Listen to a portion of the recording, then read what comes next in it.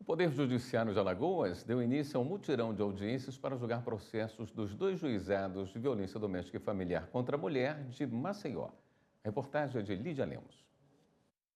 Ao todo, serão 600 audiências de instrução realizadas em quatro dias no mês de outubro e novembro, em 15 salas no Fórum do Barro Duro, como explica o juiz coordenador do mutirão, João Paulo Martins. A gente fez uma opção de utilizar os espaços do fórum, as varas cíveis, né, porque as varas cíveis elas funcionam a partir das 13 horas.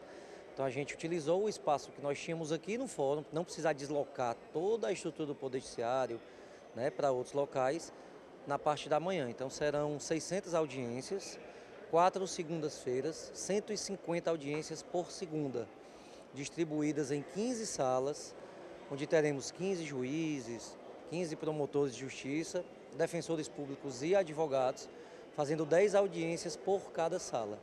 Né, e assim nós atingiremos o número de 600 audiências nas quatro segundas-feiras. A juíza Soraya Maranhão, do primeiro juizado da mulher, destaca a relevância da ação que dará celeridade à tramitação dos processos. É uma força-tarefa onde serão realizadas várias audiências, iremos, irá ajudar a desafogar nosso acervo e teremos então mais audiências e, consequentemente, mais sentenças e uma resposta mais rápida à vítima de violência é, de gênero. Alexandre Machado, juiz titular do segundo juizado da mulher, explica ainda que durante a audiência de instrução, muitos processos já devem ser finalizados. Nós ouvimos a vítima, as testemunhas, arroladas pelo Ministério Público e Defesa, e também interrogamos o réu, e ao final nós colhemos as alegações finais, tanto do promotor quanto da defesa, e sentenciamos, em alguns casos, na própria audiência.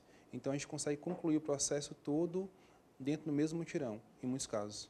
O presidente Fernando Tourinho esteve no mutirão e afirmou que a Força Tarefa auxilia a justiça a dar uma resposta mais rápida à sociedade.